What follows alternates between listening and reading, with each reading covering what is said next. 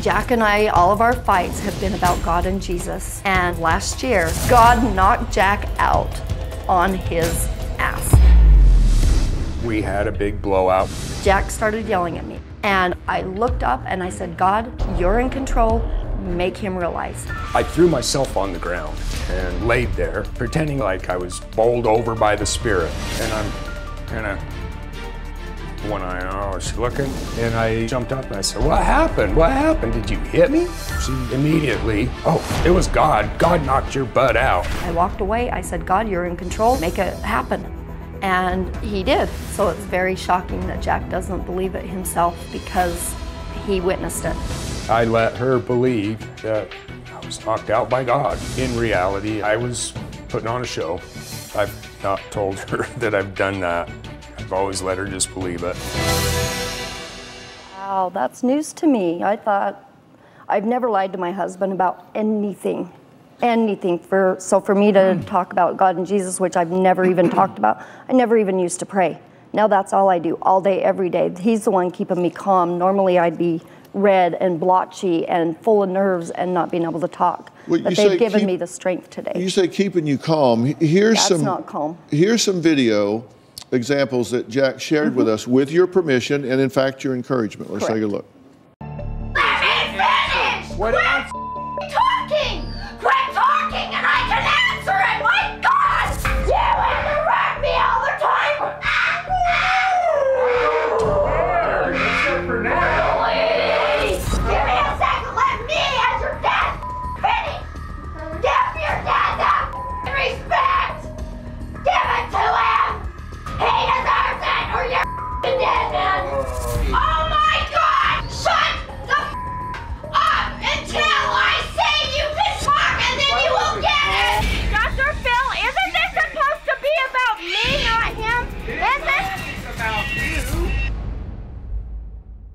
Can I explain that? I hope Oh, so. Okay, good.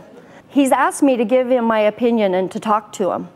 I've given him the respect to start a conversation and completely finish, no matter how long it takes, no matter how long he needs to do, as long as I understand him completely and totally, I have given him that respect. Okay? He has yet to give me that respect. So those were where I was getting mad because I'm supposed to be somebody that you love. I'm supposed to be somebody that you respect, yet you can't even give me respect to look at me and let me finish without constantly interrupting. If Robin does that to you, if she's got something important to say that's this big drastic change in your life, wouldn't you don't you respect her to just listen to her and say, "God, well now maybe then we can talk about it." Well, you But just when- asked me a question. You need to let me answer. Yes, go ahead. A conversation is two-sided. Correct. You do have to let him weigh in every once in a while. And Robin and I might disagree about something, but my goal and her goal is always that the other side understand our point of view. If your goal when you have a disagreement is to get the other side to agree, that's the wrong objective. You just need to be have the goal that they understand and then just leave it with them. I do have a personal relationship with Jesus Christ, mm-hmm. and God is a, a, a very loving, caring, peaceful mm-hmm. God. And Yes. I, I hear you saying, He's knocked you on your ass. Shut the f- up. Yeah.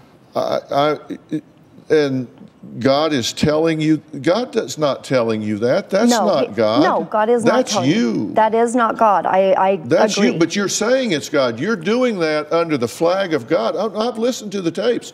You say He doesn't listen to you. I've listened to mm-hmm. 14 tapes where Yep. you've said God is telling you what to say and He needs to shut up.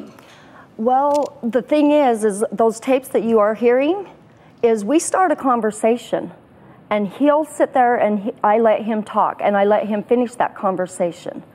I start, he interrupts me. That's a communication issue. That doesn't have anything to do with God. No, it doesn't. But when you're sitting there and you're just realizing who God and Jesus is, and they are talking to you, and they're trying to tell you, hey, have somebody that loves you to understand you. Tell me, tell them if you're crazy or not.